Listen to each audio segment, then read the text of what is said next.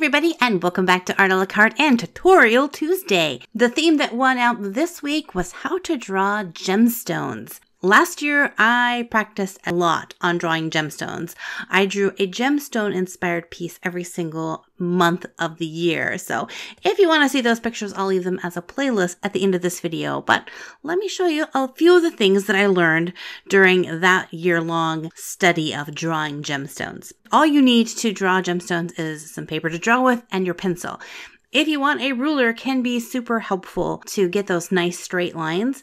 But depending on how I'm feeling, I will either use a ruler or I won't. It's completely up to you. The awesome thing about drawing gemstones is that you can either be super duper precise or you can be totally organic with it and crooked line and it doesn't matter. I was really intimidated at first when I was learning to draw gemstones because I thought the cuts all had to be precise and even. But the more I began to study and look at pictures of gemstones, the more I realized some of the coolest ones, especially fantasy themed ones, were really cut in lots of weird angles. There was no rhyme or reason to them. So to start off with our first basic gemstone, we're going to pick a shape. Any shape that has straight lines. Otherwise, you're just going to get like a pearl, a circle gem. But if you want like a cut gemstone, a crystal thing, uh, everything has to have straight lines. Now, it can be a square or a diamond, triangle, octagon, pentagon, hexagon, whatever kind of gon you want and draw that basic shape. Next, you just begin to add lines. Anywhere there is a bend or turn in the line, you can add an intersecting line from that or a couple.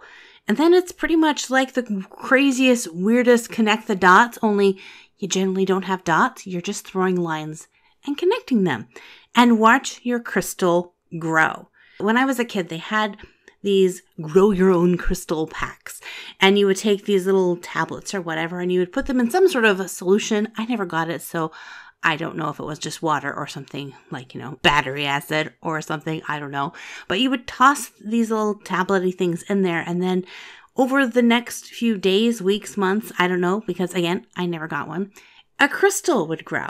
So I say that to make it sound like this because every time I draw a crystal, I never exactly have in my mind exactly what it's going to look like, it changes and grows and becomes its own thing, which is kind of fun because you're a little bit in charge, but then you're really not, which pretty much sums up how I am in life. I thinking that I'm in charge of things, but really I have no clue what's going on. Now, I'm not going to get into deep detail on coloring the gemstones. There's several different methods that you can do that.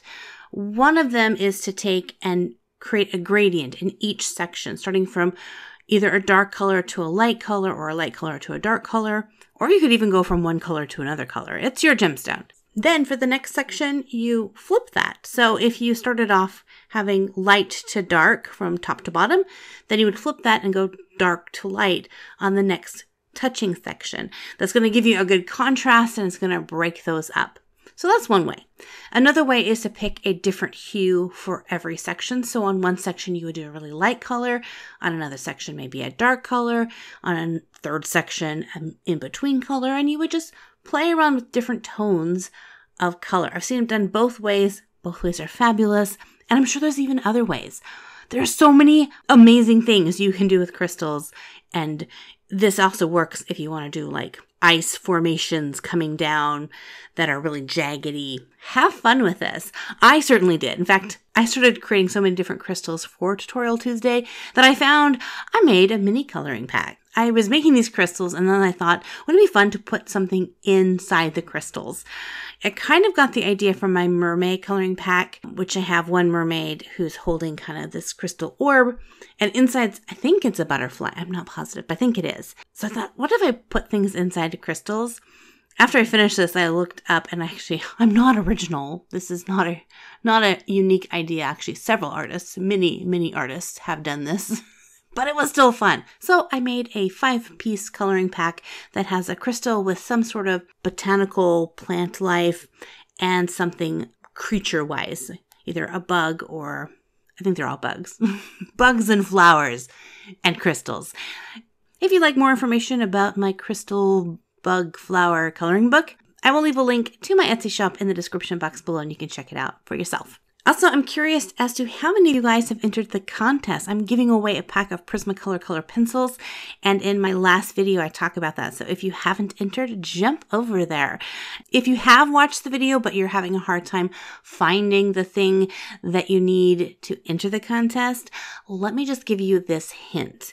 And the hint is Tutorial Tuesdays are your best friends. So check out the Tutorial Tuesday videos. I'm not going to say which one, but your hint is in one of those. That's all I'm going to say. Now let's get into the part where you guys give your suggestions for the next Tutorial Tuesday, which I think is our last official Tutorial Tuesday. My original plan was to do them just for the month of May, and next week is our last day in May. Can you believe it? It's gone by so fast. Put in your suggestions of what you'd like to see for the last tutorial, and then make sure to hit that subscribe button so that you don't miss out on the poll that will come up in a few days after and you can vote for that.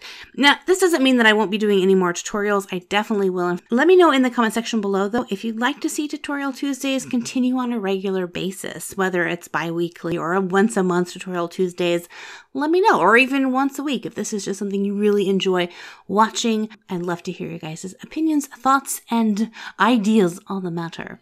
Anyway, guys, thank you so much for hanging out with me and thank you for being so awesome and supporting my channel. Remember, there are five ways that you can help support any of your favorite YouTube content creators. So check off to see how many of the five you've done. And as always, God bless you guys, and we'll see you in another art video. Bye bye.